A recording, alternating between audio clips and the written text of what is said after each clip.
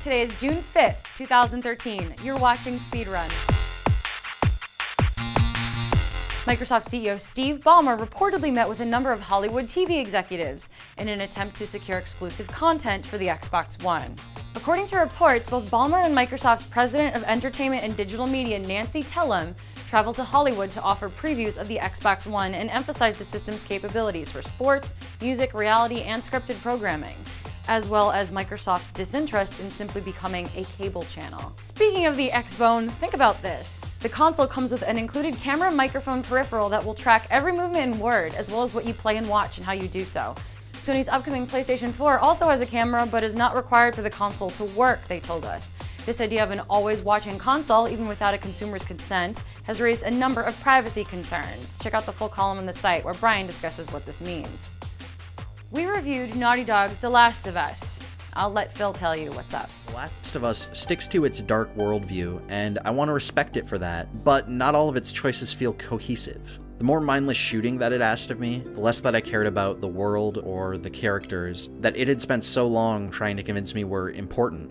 Naughty Dog has created a fascinating, sometimes incredible experience in The Last of Us, but any deeper meaning gets lost in the same hail of gunfire that I've experienced in dozens of other third person action games.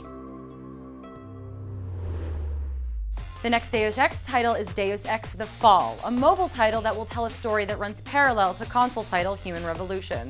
Set in 2027, the same time period as Human Revolution, players step into the shoes of Ben Saxton, a former British SAS mercenary who has undergone physical augmentation and is trying to unravel a drug conspiracy and find out what happened to him. The game will launch this summer, and the first episode of what Square Enix is calling a mobile series will cost $6.99. The next Dragon's Dogma will be a free-to-play title on the PlayStation Vita.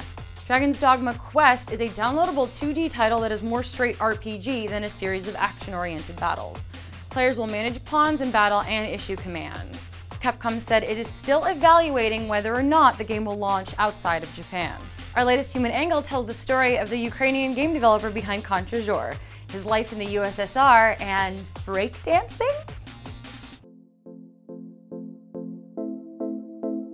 My name is Max, and uh, I'm head of Mokus Game Studio. I'm an indie developer, and uh, I also do breakdance.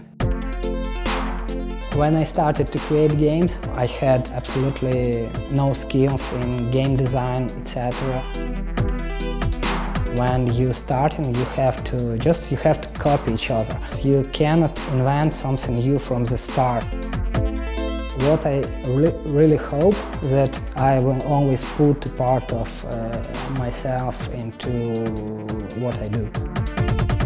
That's it for today, Polynauts. This time next week, we'll be on the E3 show floor.